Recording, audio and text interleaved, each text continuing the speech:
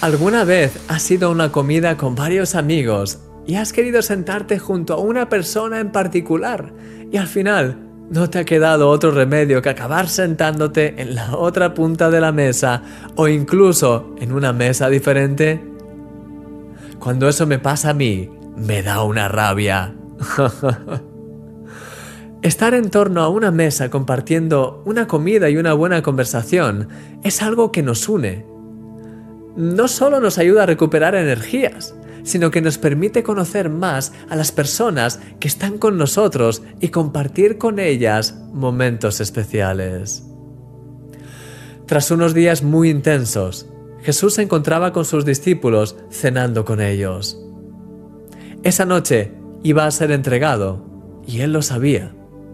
Por eso, Quería aprovechar bien esas últimas horas para administrar a sus amigos y prepararles para lo que estaba por venir. En un momento, Jesús partió el pan y se lo dio a sus discípulos y compartió la copa con ellos también. Su cuerpo y su sangre iban a ser entregados al día siguiente y esta última cena reflejaba el sacrificio que iba a hacer por ellos. Pero aún en medio de esta situación, un destello de luz apareció. Jesús les dijo, y yo os digo que de ahora en adelante no beberé más de este fruto de la vid hasta aquel día en el que lo beba nuevo con vosotros en el reino de mi Padre. Querido amigo, el día llegará en el que comeremos y beberemos con Jesús en la mesa en el cielo.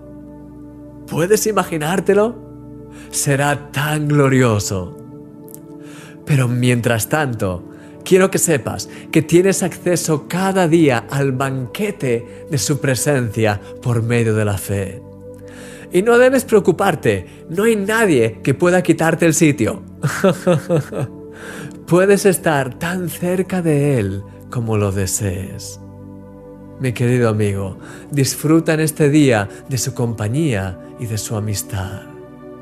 Eres un milagro.